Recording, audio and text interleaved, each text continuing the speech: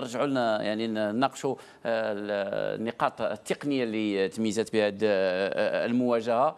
وخصوصا ونبغي نرجع بعد السي محي الدين حول يعني آه، دفاع المنتخب الجزائري اللي كان اليوم أحسن بكثير. نمشيو لغينيا الاستوائية وبعثة قناة ميدي إن تي في هناك. نوفل اذا نوفل العوامل المنتخب الجزائري حقق الأهم كان في الموعد وانتزع يعني ورقة الترشح للدور القادم. نوفل. مساء الخير جلال. تحية لك لضيوفك الكرام. هنيئا على المدرب الجزائري محي الدين خالف تأهل الخضر للدور ربع النهائي. بانتظار التعرف على الخصم في هذه المباراة وأكيد سيكون خصم من العيار الثقيل بالنظر لمجموعة من حديد وهي المجموعة الرابعة والتي سنشهد لقاءاتها يوم غد. على العموم المنتخب الجزائري كما قلنا في مداخلة الأمس المنتخب الجزائري ارتاح لأرضية الميدان.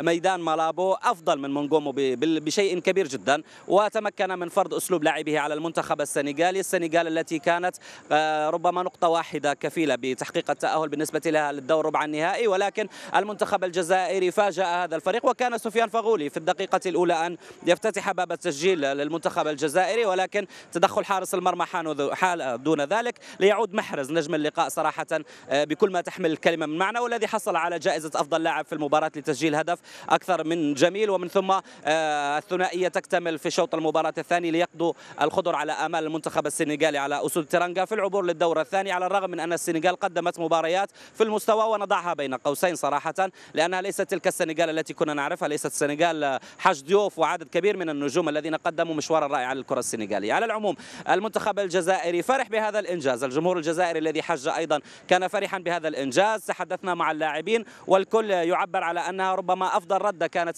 أو ردة فعل على من شكك في قدرات المنتخب الجزائري في إمكانياته البشرية وبأن الصورة التي عكست على الخضر بعد القدوم من مونديال البرازيل ستبقى كما هي هنا في كأس غينيا الاستوائي 2015 اللاعبي المنتخب الجزائري كلهم تفاؤل بالمرحلة المقبلة وبأن اللعب هنا في ملعب مالابو سيجعل المنتخب الجزائري بأريحية كبيرة في لقاءاته المقبلة في حال ما إذا تجاوز بإذن الله الدور ربع النهائي. كان لنا أيضا حديث مع محمد روراوة رئيس الاتحاد الجزائري أعرب عن ارتياحه للنتيجة المسجلة وهنأ اللاعبين. المنتخب الجزائري اليوم جلال ظهر بشكل جيد على كل المستويات. رايس بولحي كان متألقا في حراسة المرمى وصد عدد كبير من هجمات المنتخب السنغالي. أيضا خط الدفاع بقيادة مجيد بوغرة فوزي غلام وآخرون كانوا بشكل رائع. بن طالب كان متميزا في لقاء اليوم. وسفيان فغولي وإبراهيم إبراهيم الذي استبدل بسبب الإصابة كانوا في خط الوسط بشكل أكثر من ممتاز. سوداني شهدنا إشراكه اليوم ربما لرأب الصدع الذي آه، حدث في المنتخب الجزائري بسبب إجلاس عدد من اللاعبين ومنهم سوداني على مقاعد البدلاء ولكن لم يتمكن من زيارة الشباك ولكنه قال لميدي أن تي في بأنه متفائل بالمرحلة المقبلة على غرار كل نجوم المنتخب الجزائري الذين حاورناهم اليوم ولكن هناك ربما أقرأ في قسمات وجوه بعض اللاعبين الذين لم يدخلوا اليوم سواء كبدلاء أو كأساسيين بعض الغضب صراحة ومنهم إسلام سليماني.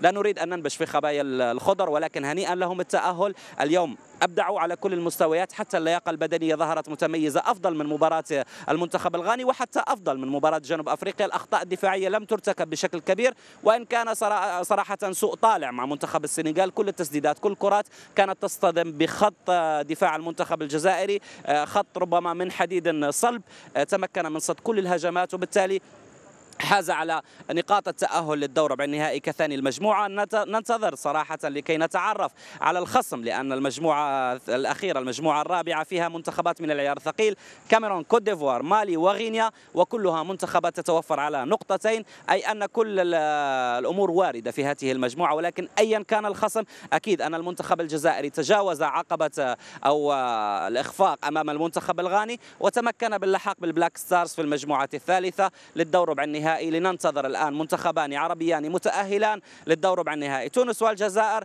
وبإذن الله سيكون الإبداع عربي مغاربي في هذا الكأس جلال.